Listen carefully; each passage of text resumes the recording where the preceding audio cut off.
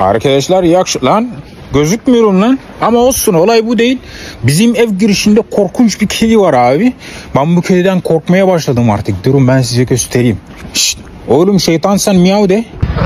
Ananı sikeyim boku yedik.